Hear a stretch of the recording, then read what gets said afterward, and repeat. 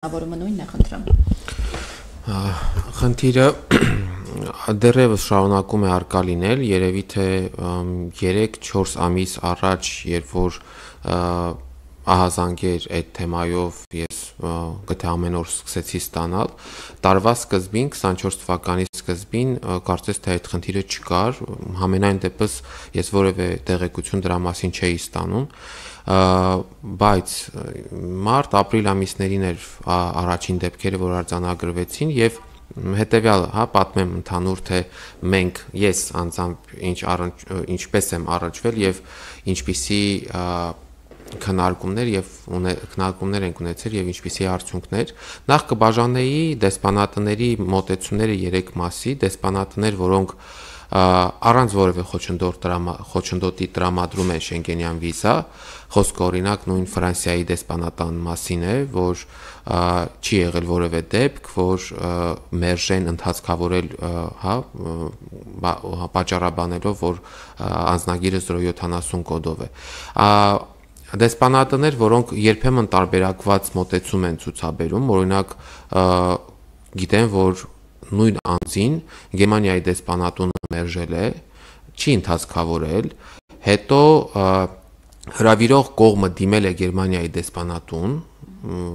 առանձին նամակով նորից դիմել է Գերմանիայի դեսպանատուն եւ տվյալ անձին նորից կանչել են հարցազրույցի եւ տրամադրել են վիզան։ Եվ դեսպանատներ, որոնք ընդհանրապես որևէ ձևով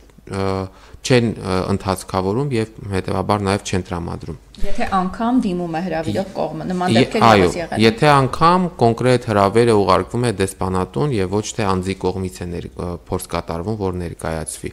Դրանց շարքում հատուկ կընդգծեի հենց Լեհաստանի դեսպանատունը, նույն Լիտվայի, Չեխիայի, երեք օրինակ նման հարցով ինձ դիմել է քաղաքացի, որը Իսպանիա պետք է գնա, եւ դիմել է Մոսկվայում տեղակայված հյուպատոսությունը, որը նաեւ սպասարկում է Հայաստանի Հանրապետությունը եւ այստեղ վիզաների կենտրոնից իրեն պարզաբանել են, որ հյուպատոսի հրահանգով չենք կարող վերցնել ձեր փաստաթղթերը եւ ընդհանցավորել։ Սա է խնդիրը, այսինքն հիմա կոնկրետ երկրներ չեն ընթացքավորում։ Երկրներ կան, որ ընթացքավորում են եւ երկրներ կան, որ տարբերակված մոտեցում են։ Խնդիրը երբ որ ակնհայտ էր, դրա մասին սկսեցինք խոսել, նաև ես հրապարակային հայտարարությամբ հանդես եկա նշելով Հայաստանի Հանրապետությունում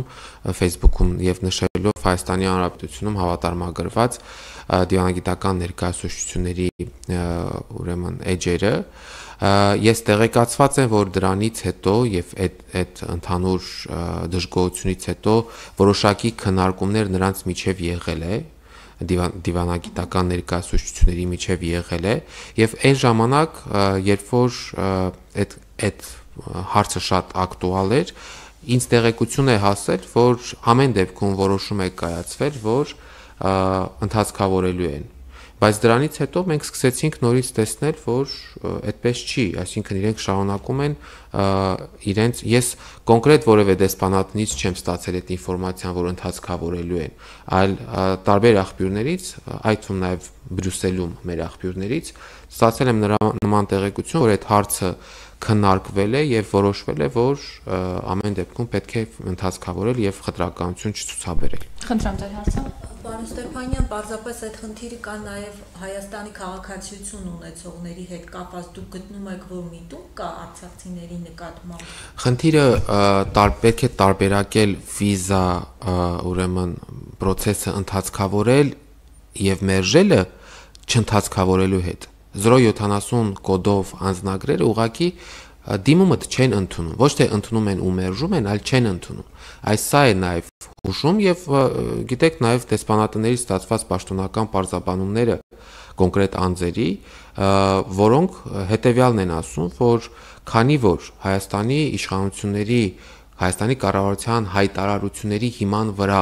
մենք չենք կարող հավաստիանալ որ 070 կոդով անձնագրերը հավաստում են Հայաստանի Հանրապետության քաղաքացիության մասին, հետևաբար մենք չենք կարող դա ընդհանցավորել որպես ձեզ ձեր դիմում ընդհանցավորել որպես Հայաստանի Հանրապետության քաղաքացի։ Դա հենց պաշտոնական հիմնավորումներ ունեն։ Այո, դա հենց պաշտոնական հիմնավոր, ընդ որում, այստեղ նաև եկենք համեմատականը տանենք այլ երկրների եւ այլ դեսպանատների հետ եւ շատ ամենամոտիկներից մեկը նաեւ ԱՄՆ-ի հետ փորձենք հա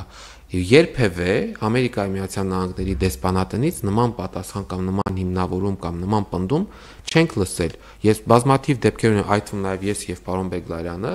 որ դիմել ենք դեսպանատուն Ամերիկայի Միացյալ Նահանգներ ու 070 կոդով մեր վիզայի process-ը ընթացքավորվել եւ մենք ստացել ենք վիզա։ Դուք նաեւ նշեցիք, որ Ֆրանսիայի դեսպանատան առնչությամբ օրինակ խնդիրներ չեն եղել։ Այս պարագայում ինչպես եք բացատրում, երբ դեսպանատների մոտեցումները տարբեր են, եթե հիմնավորումներում օրինակ նշում են, որ կառավարության դիրքորոշումն է։ Ես իրապես շատ իրավիճակը